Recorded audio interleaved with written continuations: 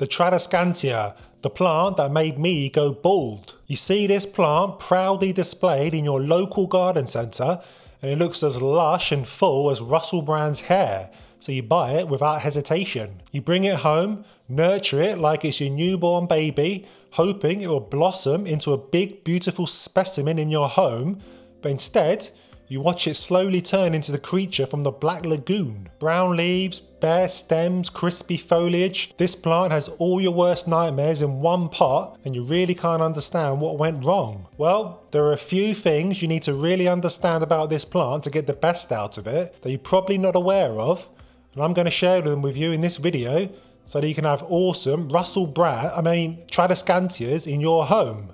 There are a ton of varieties of Tradescantias out there, including the Zebrina, that most of you will have owned at some point. My favourite variety, the tricolour, the green albiflora, which is a new addition for me, as well as the furry varieties such as the purple pallida and the teddy bear vine. They all pretty much have the same growing habits, as well as the same annoying bad traits that makes them eventually look so ugly so the care tips in this video can be applied to pretty much all of them.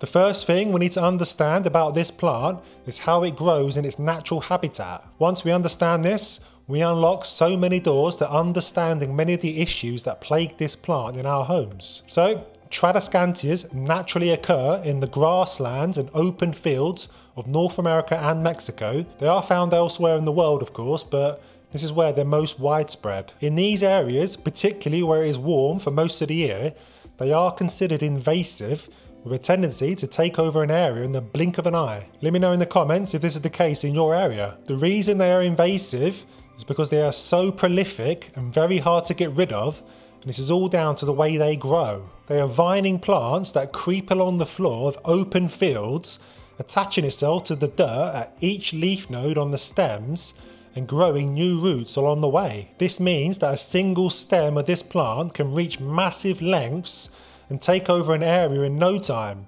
They're such fast growers. A stem will creep along the ground and wherever there is a leaf node, new roots will grow into the ground, strengthening the stem in the process. You can cut off the bloodline to this stem at the base of the plant, wherever that is, but because it's grown new roots along the way, happily goes on with its life like nothing's happened. And you can see why this plant is classed as a weed in so many places. It's also why it's so easy to propagate.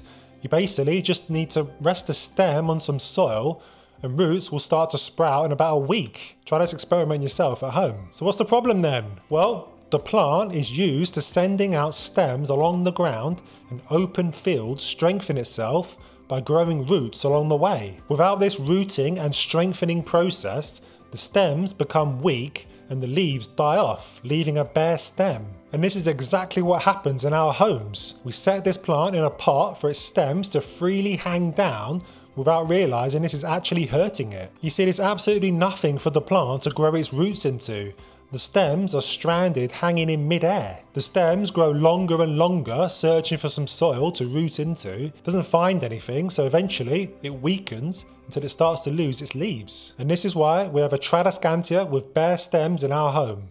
So what's the solution then?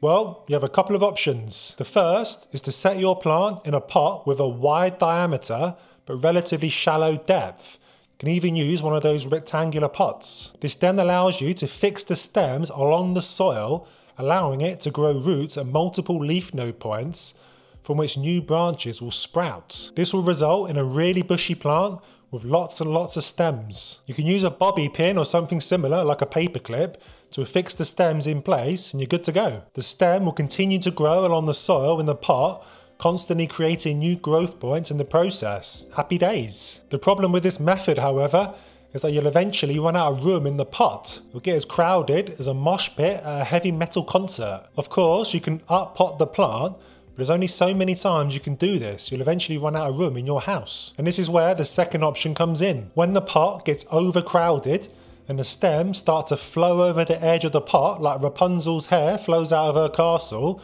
you can pinch the tips of the stems off. This stops the growth of that stem in its tracks. And if there's one thing I hope I've taught you on this channel, is that the stem of a plant always wants to survive, so it will grow new shoots lower down the stem. This will keep the plant super bushy and compact, with a full head of hair, unlike yours truly. So if you have lots of long stems on your plant, try pinching the tips off to encourage branching further back. You should end up with a much bushier plant. You will get to a point though where it becomes unruly and unmanageable in which case you may want to reset it and start again. Luckily for us, this plant is hands down the easiest plant to propagate in the world. No joke, this plant will grow roots in a matter of days. All we need to do is cut a stem off underneath a leaf node, remove the lower leaves leaving two or three leaves at the tip and then plant into some soil. Don't bother propagating in water or perlite prop boxes, there's really no need. So this is exactly what I've done countless times to my Tradescantias when they've started to turn into ugly ducklings. I completely reset the plant by cutting off all the stems and putting it in new soil and I soon have a very full plant on my hands. Annoying trait number two which I have no doubt you'll be struggling with right now if you own one of these plants, is crispy brown leaves. If you own this plant, then it's as much a certainty in life as the sun rising each morning and setting in the evening. Unfortunately, I've come to terms with the fact that there is no way to completely avoid this from happening. This plant is just not meant to be grown indoors. They are free spirits who would much rather take over a field or garden than be confined to the small diameter of a plant pot. But there are a few things we can do to mitigate this. Now one of the causes of brown leaves is related to the bare stems problem I've already talked about. The stems grow weaker and weaker in our homes unless they have soil to attach onto and grow roots, leading to leaves dying back. You've got the remedy for this. The second cause though is splashback on the leaves when you water your plant. This plant hates having moisture sitting on its leaves for a long time. They're sensitive things and will rot if water is left to dry on them. So, if you're heavy handed with your watering can, or even watering with an indoor plant's worst nightmare, a rose head attachment, and getting the leaves wet in the process, you are slowly destroying your plant. You need to find a way to only get the soil wet and not the leaves, and this is where bottom watering comes in. I highly recommend bottom watering this plant. It's effective because water is drawn up through the soil from the bottom leaving the top of the soil relatively dry. This will stop your Tradescantia's leaves from getting wet through splashback, which is what happens with top watering, and also stops the leaves sitting on wet soil, which will lead to leaf rot. There are other benefits to bottom watering, such as better root development because the roots are encouraged to grow down and away from the crown of the plant in search of water. Plus, it keeps the top of the soil dry keeping those pesky fungus gnats at bay. All you do is add about a third of the volume of the pot of water to the saucer or decorative pot for the plant to soak up. If you wait until the plant is dry before watering, then it should soak up all the water no problem. If it does this within a couple of minutes, then add some more, your plant is clearly very thirsty. If water is still standing there after a day,